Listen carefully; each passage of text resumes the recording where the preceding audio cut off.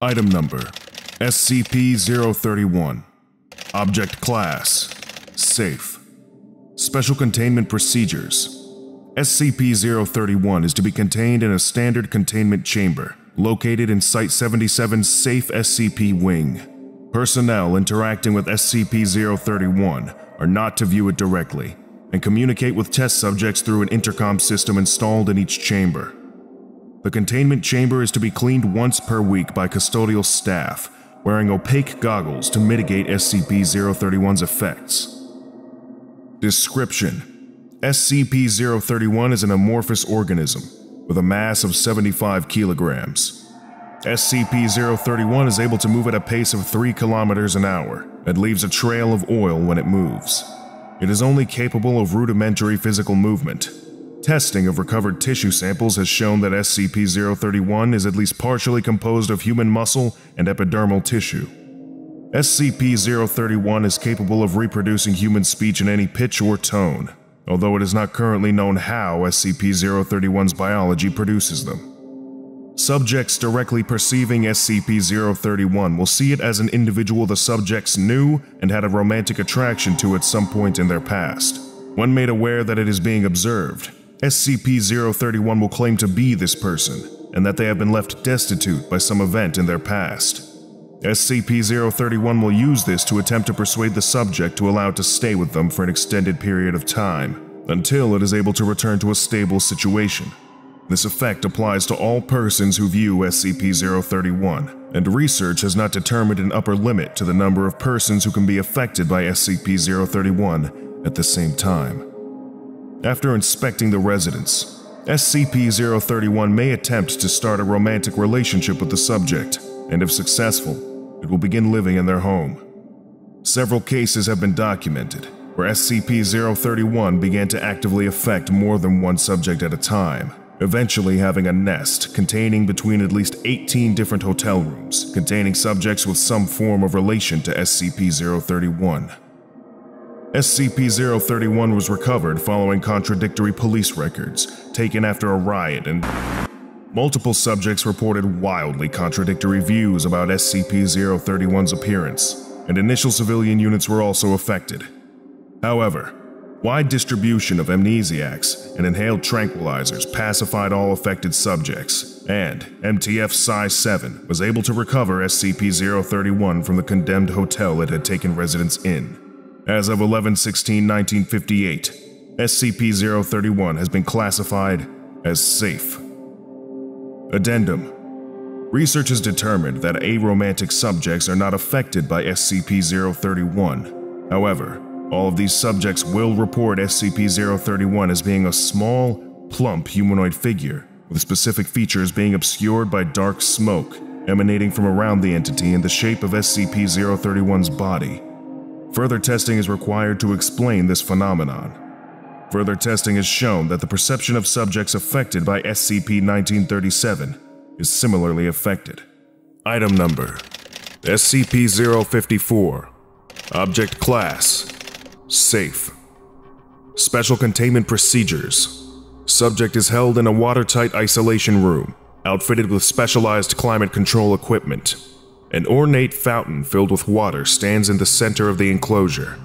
Maintenance personnel are required to wear NBC suits while inside the containment area, and must spend 10 minutes in a special drying room after exiting. In the event of a breach, the surrounding area should be evacuated and the enclosure flushed with liquid nitrogen. The fountain's chemical levels and volume are to be monitored and maintained. Spring water from should be used as SCP-054 is highly sensitive to hydrological conditions.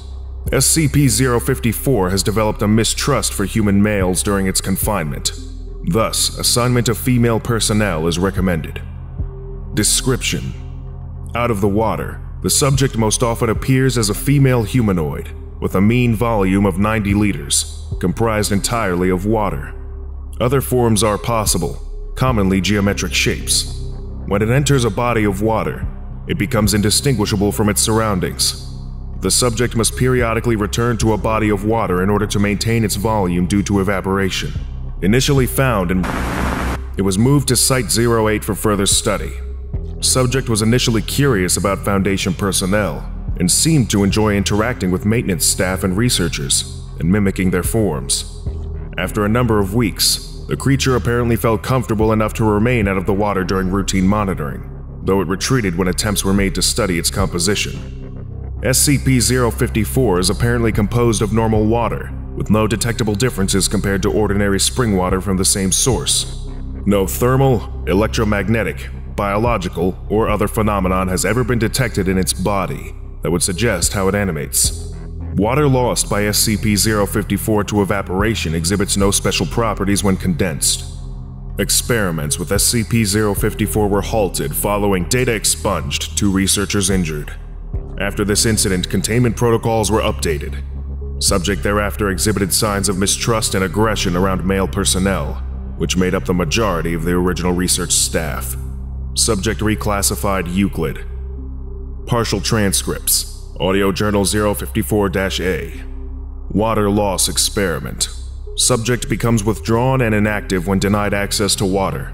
Its compact shape is theorized to reduce surface area exposed to evaporation. For the first few days, it moved eagerly to greet anyone entering its enclosure and behaved excitably. Possibly indicates an understanding by the subject that we control its access to water supplies. Subject ceased this behavior yesterday, presumably in recognition that no help was forthcoming. Temperature extremes testing. We got authorization to attempt sub zero testing this morning. The subject became lethargic as the temperature fell and eventually froze completely. Spectroscopy of the ice crystal revealed no abnormalities. Ice chips were collected for study. This is in stark contrast to its behavior in the 95 degree tests, when it became aggressive and attempted to escape its enclosure. We've submitted a work order to combine the climate control equipment with the subject's standard enclosure, as it has begun to resist efforts to transport it to experimental chambers with increasingly desperate behavior. Memory and conditioning evaluation. Subject has proven unexpectedly adept at navigating complex mazes and solving puzzles. Dr. Seskel has finally overcome the problem of motivating the subject by the application of electrical shocks and or silica desiccants. He joked that we should have it trained to fetch in no time, and after observing his methods, I think he might be right. Note, subject to be allowed a 48-hour recuperation period. It seemed to be lagging in its progress at the end of the week's experiments. Acid Base Incorporation Experiment. Last log entry. I am starting with a 0.5 mole hydrogen chloride solution. I have no idea what will happen, but if this thing incorporates homeostatic mechanisms like I suspect, then we should get some insight into how it maintains its form. Temperature in the enclosure has been lowered to 278 Kelvin to help control 54's increasingly erratic behavior. Addendum 054b after five years with no incidents, subject rating has been downgraded to safe on recommendation of Dr. Experiments will resume under the auspices of Biology Unit E7. Caution should still be exercised when interacting with subject. Item number SCP-066 Object Class Euclid Impetus Special Containment Procedures SCP-066 is to be kept in a safe deposit box at Site-21. Personnel level 2 or higher may perform experiments on SCP-066 after filing the relevant request forms. Researchers may log their results in Experiment Log 066 Beta. Note: Special containment procedures have been modified. The following now applies. SCP-066 is to be kept in a tungsten carbide box in Site-21's high-value item storage facility. Once every month, this box must be manually inspected for damage to the interior. SCP-066 consistently destroys any recording devices placed inside its containment box. If damage is present, SCP-066 must be moved to a new box. This task is performed via a robotic arm, capable of performing the task in under 3 seconds. Description SCP-066 is an amorphous mass of braided yarn and ribbon weighing approximately 1 kilogram. Strands of SCP-066 may be taken individually and manipulated. When this is done, a note on the diatonic scale, CDEFGAB, is produced by the object. When a set of six or more notes are produced, SCP-066 will produce an effect of varying nature and duration. SCP-066 will not respond to manipulation while any effect produced by it is in progress. Prior to Incident 066-2, results have included SCP-066 transformed into a small calico kitten for 17 minutes. The kitten exhibited significant friendliness and playfulness and appeared to be declawed.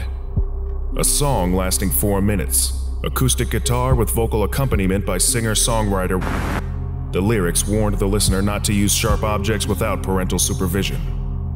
A small cupcake, chocolate with chocolate frosting, and a lit candle stuck in the top.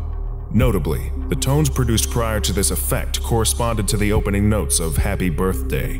SCP-066 became responsive after said cupcake was consumed. Incident 066-2 On April 18, 2008, D0664437 was instructed to use a pair of scissors to remove a portion of SCP-066 for testing. However, when he began to cut it, SCP-066 rolled one meter away from him before stopping and making an unidentified squeaking sound. Before he could be provided with further instruction, D0664437 attempted to cut it again. SCP-066 rolled away and produced the phrase, Are you Eric? in response. After D0664437 replied in the negative, SCP-066 morphed into its present state and began emitting loud, dissonant staccato notes until D0664437 was escorted from the room. After Incident 066-2, SCP-066 began to exhibit behavior highly inconsistent with its previous properties. SCP-066 now displays significant mobility, primarily in the form of being able to move tentacular portions of itself at very high speed. While SCP-066 is either unable or unwilling to use this ability for transportation, it will occasionally attempt to damage its containment by rubbing its strands against the side of the box, gradually wearing it down. This process appears to be unusually effective for the materials in consideration. Additionally, SCP-066 will automatically produce notes and effects in the presence of any human, regardless of whether that human interacts with SCP-066. This process takes a minimum of 6 seconds. In the aftermath of Incident 066-2, effects produced by SCP-066 have included a single bee was released near the containment, stinging D-4436 before flying away. The bee was not captured. It is unknown how the bee survived. Beethoven's Second Symphony was playing at over 140 decibels, causing permanent deafness in three personnel and permanent hearing damage in eight others. The room containing SCP-066 experienced a sudden and complete absence of light for five hours. Personnel in the room reported hearing loud breathing behind their shoulders, although no source was apparent. When it is not producing anomalous effects, SCP-066 will say the name Eric constantly, in a deep, masculine voice. Item Number SCP-128 Object Class Euclid Special Containment Procedures SCP-128 is to be held in a windowless containment chamber with blast-proof doors and walls, and a ventilation system that maintains Class 100 cleanroom conditions inside. The interior of the containment chamber is to be monitored remotely by cameras welded in place with protective grating. The speakers and laser monitoring system must be similarly welded into place and protected with grating. The entry to SCP-128's containment chamber must include an antechamber with a second locked door that cannot be viewed from the chamber door. Personnel entering the test chamber for any reason must wear ballistic armor and must not bring any loose item inside the chamber. All required equipment must be rigidly mounted to the armor. Interference with the laser monitoring system or the central wheel is forbidden unless required for maintenance. In the center of the containment chamber, a wheel must be mounted to a concrete pedestal and allowed to spin freely. Should the wheel be measured to spin at less than 4,000 RPM at any time, all personnel are required to evacuate the containment chamber, and foam nozzles will be deployed. Description SCP-128 is an immaterial source of kinetic energy, which can be conferred upon any non-living solid material within line of sight of the source. The source itself is modal, with a tendency to remain along the walls or at the central wheel of the containment chamber, the line of sight is blocked by any opaque material, including lead, steel, or even single sheets of paper, but not transparent materials, such as ballistic glass. Opaque radiolucent materials will contain SCP-128's range of effect, suggesting that transmission of energy occurs at visible light wavelengths, but darkness does not prevent transmission of kinetic energy. Any loose non-living materials within line of sight of SCP-128 are at risk of anomalous propulsion to hazardous velocities. Items under 100 grams in mass have been observed to accelerate to velocities of up to 900 meters per second in a period of 0.1 second, similar in force to machine gun fire. Analysis of the mass and velocity of every object undergoing acceleration indicates that the system of affected objects contains a constant linear momentum of 2,500 kilograms a meter per second, anomalously unconstrained by direction. It is therefore advisable to have many heavier items available to the object instead of fewer, lighter items. Despite SCP-128's invisible immaterial form, it has been determined that the entity cannot be compressed into a space under a 2 centimeter radius sphere. Such compression with opaque materials, however, is not advised, as dust particles within the space will be excited, generating extreme heat, potentially rupturing the compression container explosively. SCP-128 arbitrarily chooses which items to accelerate, with a slight statistical preference for new objects over older ones. Despite the existence of some form of acceleration choosing, Tests do not indicate an active sentience directing the choice, with one exception. The object does not accelerate living material, with its own parameters regarding what is considered living.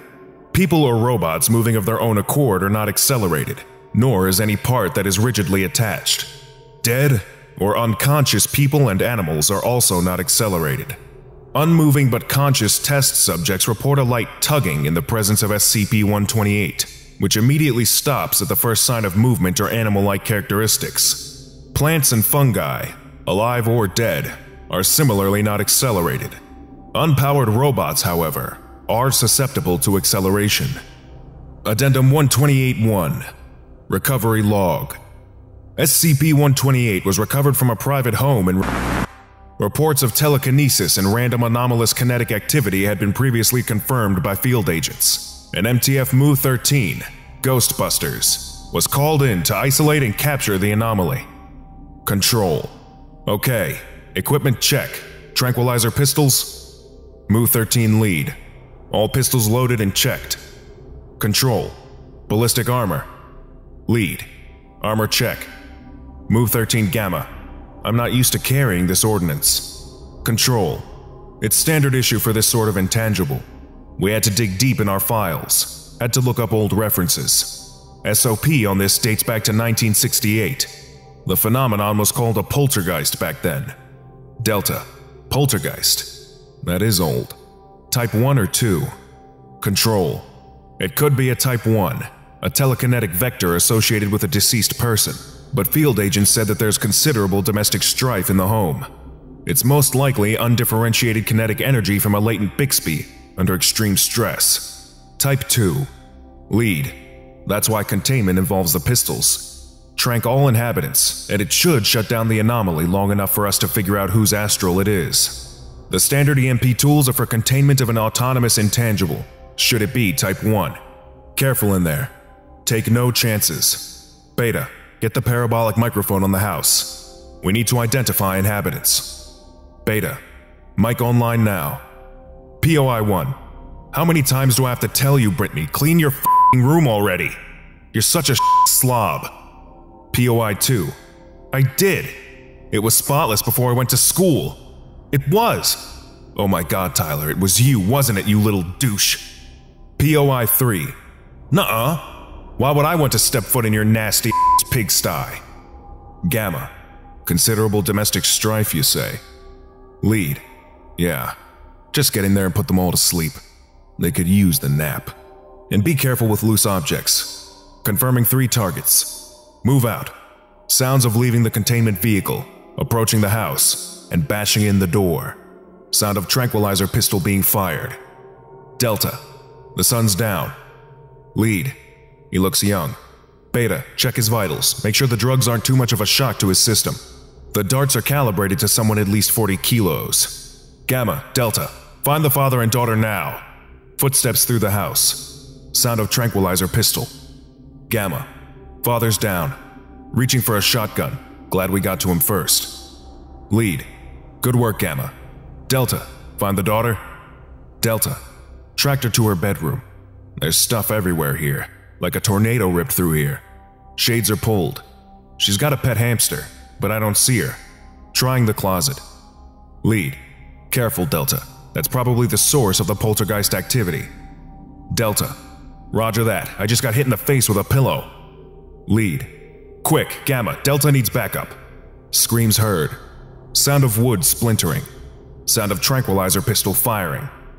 Delta. Daughter is down. Repeat. Daughter is down. Chair just got thrown against the wall. Bookshelf falling over.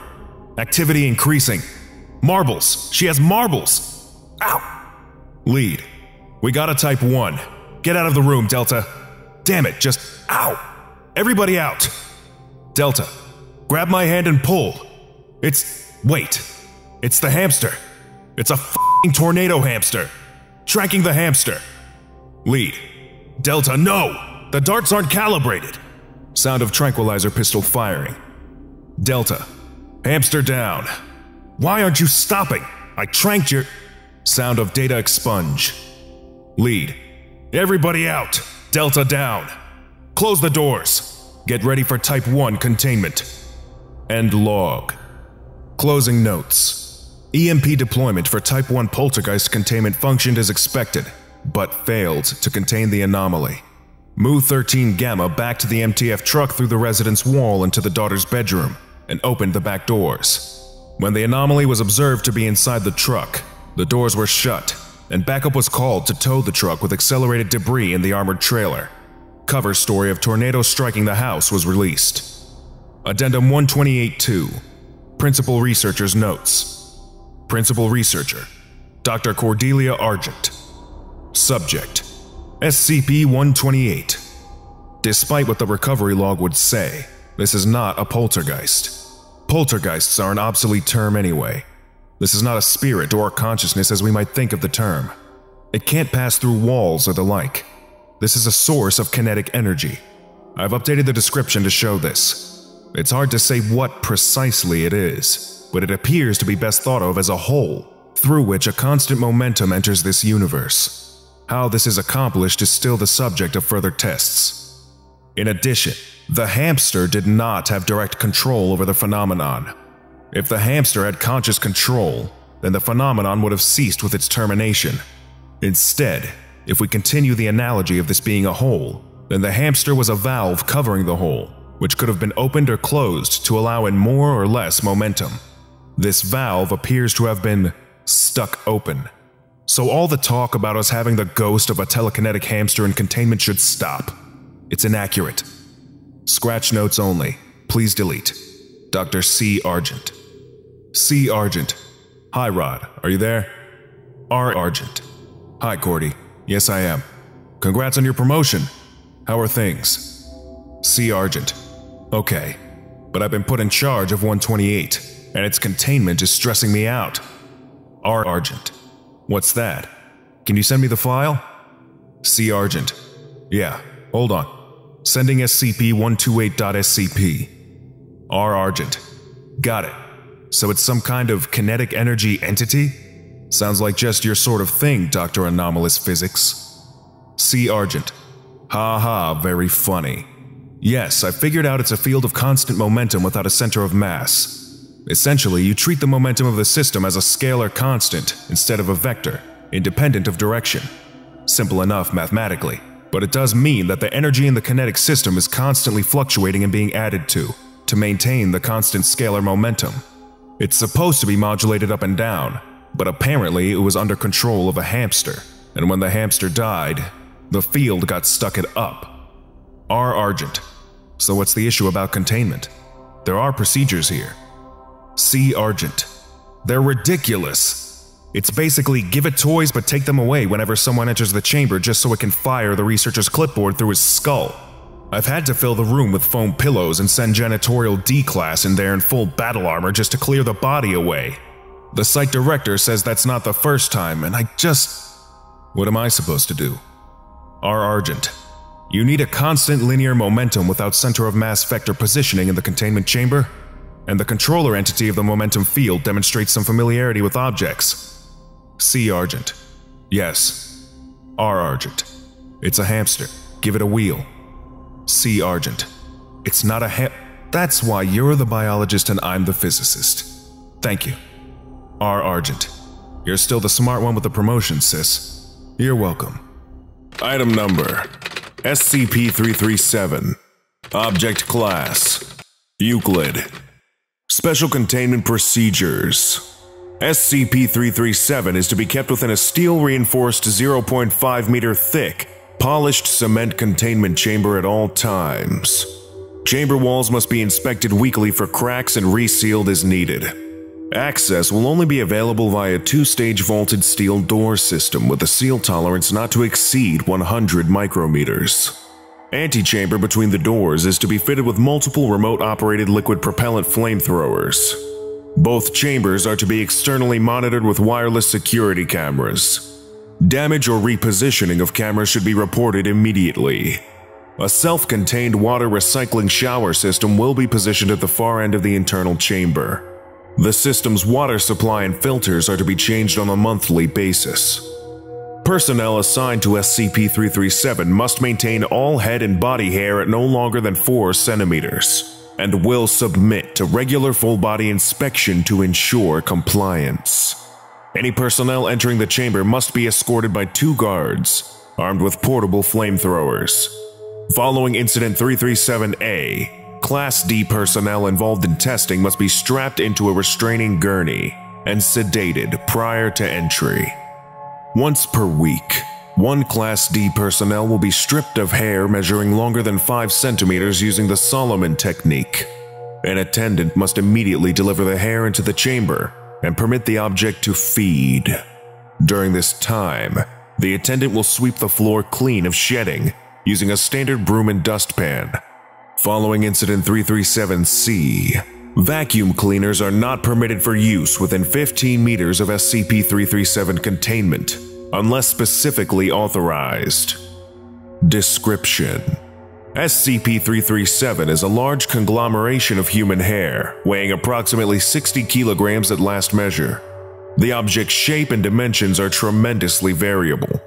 SCP-337 is fully animate, capable of a wide range of locomotion, and can exert force in excess of 18 kilonewtons. It also seems to possess some low level of sentience, although attempts at communication have thus far met with limited success. The object is able to manipulate any hair directly connected to its central mass, with precision down to the individual strand. The method by which SCP-337 mobilizes its components is still under investigation, Analysis of filaments attached to the object has shown them to be identical to regular human hair, and strands that are periodically shed from the object are similarly normal, aside from being drained of pigmentation. Filaments display typical tensile strength and can be easily damaged by fire, blades, or consumer-grade chemical clog remover. Although it displays no obvious sensory organs, SCP-337 is highly aware of its surroundings and may even possess perceptive abilities exceeding those of humans. For the most part, these senses are tuned towards detecting and acquiring its principal form of sustenance fresh human hair. When a human being with any hair measuring longer than 5 centimeters comes within approximately 30 meters of SCP 337, it enters what could be described as a predatory state, rapidly braiding together several dense tendrils of hair in the direction of its prey. The object's range of perception seems to be unhindered by the walls of its containment chamber. The object will then close in on its target at great speed, attempting to overtake and envelop it. When successful, SCP-337 restrains the subject's limbs and begins to harvest all hair of sufficient length from the body. Hair is painlessly removed from the dermis at the base, root included.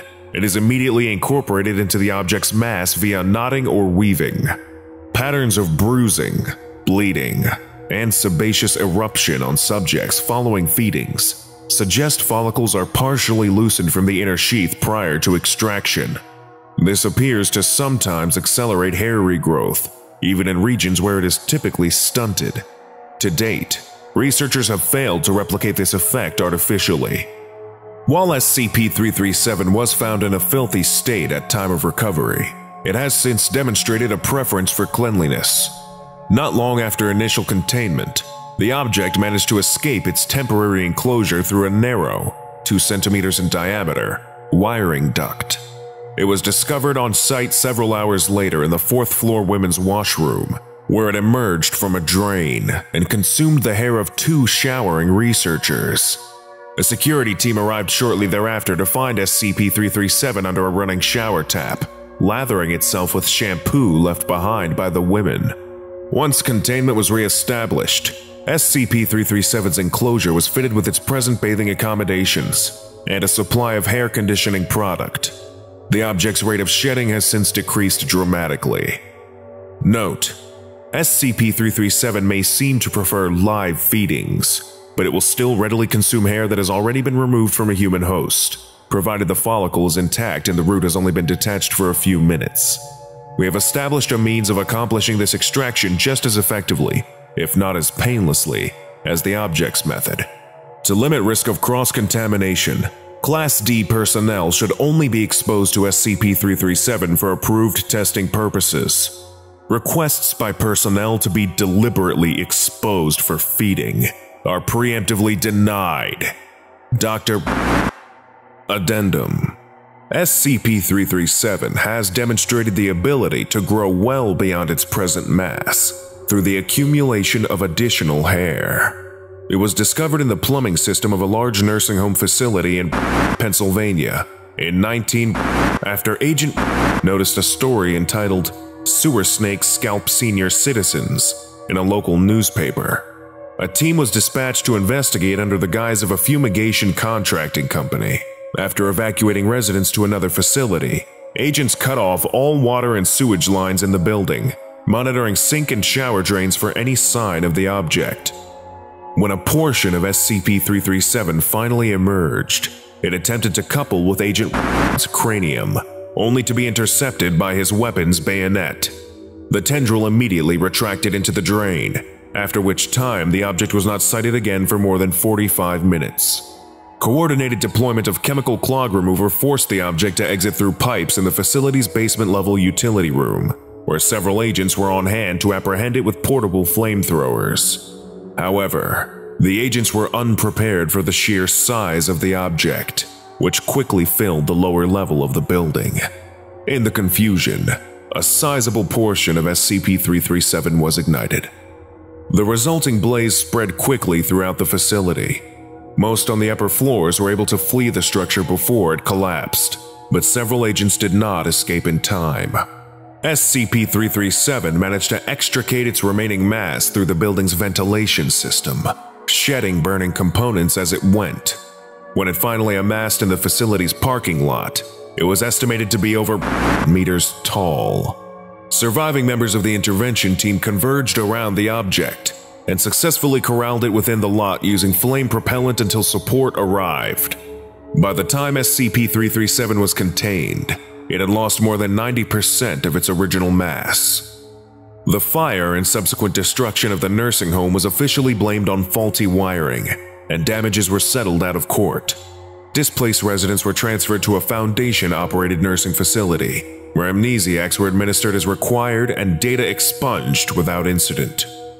Incident 337A Personnel involved Dr. Solomon, D28803 Date Undisclosed. Description 10:26 a.m. Dr. Solomon and two guards enter antechamber of SCP-337 containment area, escorting D-28803 for scheduled testing. D-28803's hands and ankles are cuffed. He is moderately uncooperative, pleading not to be taken into the chamber Rumors of a haircut monster are widespread among Class D personnel on site. 10:27 a.m. Dr. Solomon assures D28803 that he is completely safe. She firmly reminds him that his cooperation is beneficial to them both. 10:29 a.m. All personnel enter inner chamber. SCP-337 has already extended several tendrils in direction of D-28803. D-28803 shouts multiple expletives, attempts to move toward exit, is restrained. 10.30 a.m. SCP-337 closes in on D-28803.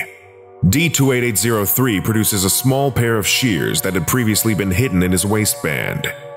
D-28803, still cuffed, wrests free from guards, and lunges at SCP-337, screaming.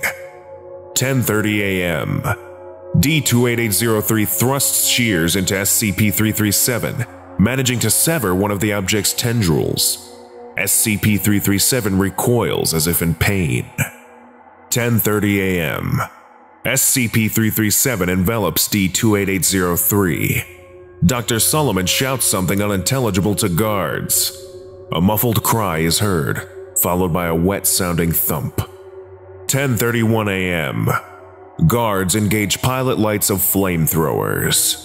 SCP-337 retreats, disentangling itself from its host. D-28803 collapses to the ground. Body is hairless.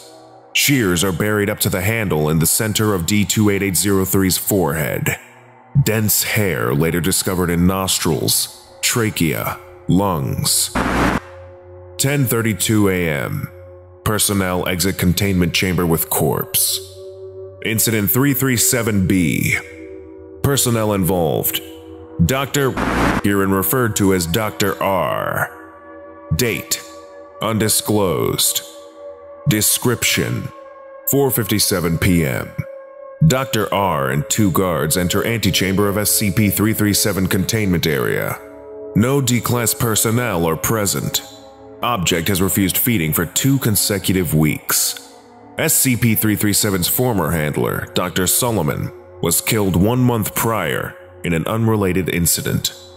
4.58 p.m. All personnel enter inner chamber.